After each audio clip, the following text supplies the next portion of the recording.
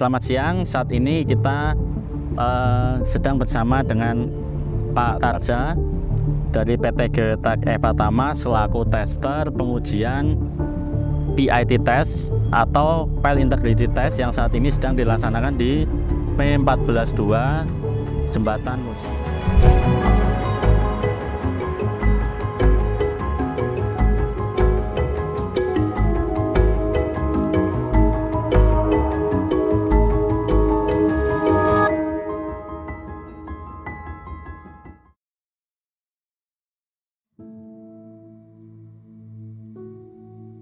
PIT test itu apa Pak Tarja? Tes PIT itu buat mengetahui keutuhan tiang terjadinya ada indikasi pengecilan atau pembesaran.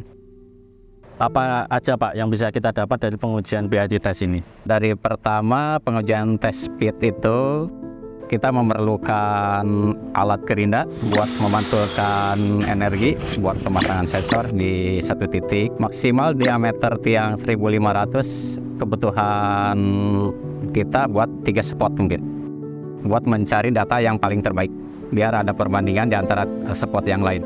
Pertama kita penggerindaan dulu. Yang rata di beton yang keras.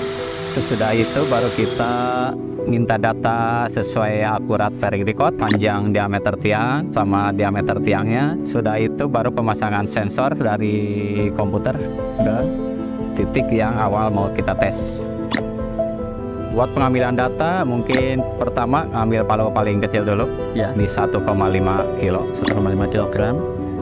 Sudah itu lihat dulu hasil grafik di komputer masih kurang maksimal kita baru tambah di palu 3 kilo. Ya.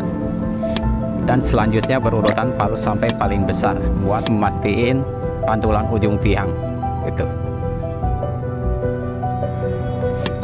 dari pengujian PIT ini Pak, pengujian PIT ini dia maksimal bisa nyampe di pondasi kedalaman berapa Pak kira-kira Pak? Pengalaman saya tergantung panjang tiangnya. Pengalaman saya udah nyampe di 70 meter. meter. Itu membutuhkan palu kisaran di 32 kilo. Oh, 30 lumayan juga berat. Baik. Itu. Berarti uh, pemilihan penggunaan palu adalah menyesuaikan dengan kedalaman pondasi tersebut ya Pak? Iya. Terus untuk PIT test ini sendiri Pak, itu bisa dilakukan di jenis pondasi apa aja Pak? Yang ke satu di borvel, borvel. Yang kedua spoon fail, spoon pile. Yang ketiga di square. Tapi yang kita lakukan di jembatan Musi ini adalah kita uh, dua tipe pondasi ya Pak? Iya. Yaitu yang pertama board pile, yang kedua adalah spoon pile diameter 1000. Iya. Baik keuntungan atau keunggulan Pak dari PIT test ini apa Pak? Keunggulan test pit itu bisa mengetahui indikasi pembesarannya atau oh. pengecilan ya. sama paling keunggulannya itu bisa mengetahui di ujung tiang si pantulannya itu jadi karena PIT test ini adalah uh, pengetesan non destruktif ya Pak ya jadi sangat mudah diaplikasikan ya. tidak membutuhkan aksesoris lain ya Pak ya. selain alat dari PIT test tersebut ya Pak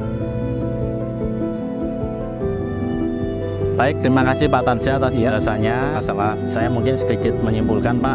Iya. Jadi untuk PIT test adalah uh, Pile Integrity Test yaitu suatu metode pengujian pondasi non destruktif ya. yang tujuannya untuk mengetahui integritas tiang atau keutuhan tiang suatu pondasi purpel ataupun tiang pracetak, uh, spoon pile dan yang lainnya. Betul. Dan uh, eh, PAT test ini alat yang digunakan cukup sederhana ya Pak, ya. yaitu cukup menggunakan uh, komputer yang disampaikan oleh sensor, lalu pelaksananya yaitu dengan melakukan penumbukan menggunakan palu yang disesuaikan dengan panjang tiang. tiangnya ya Pak ya. Betul. Dan tujuan untuk melakukan PAT test ini adalah kita untuk mengetahui suatu integritas atau keutuhan dari tiang pondasi kita. Ya, ya Pak.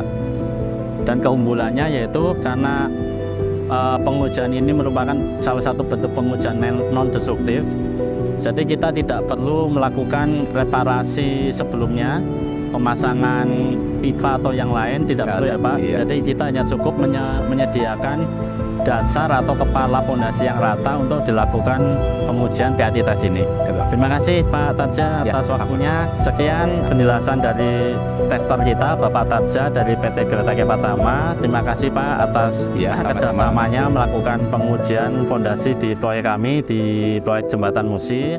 Dan untuk info PT Grotek ini adalah salah satu perusahaan pengujian fondasi yang bersertifikat ya Pak Iya, betul. yang sudah bisa melakukan bermacam-macam pengujian fondasi. Sekian, terima kasih, semoga bermanfaat.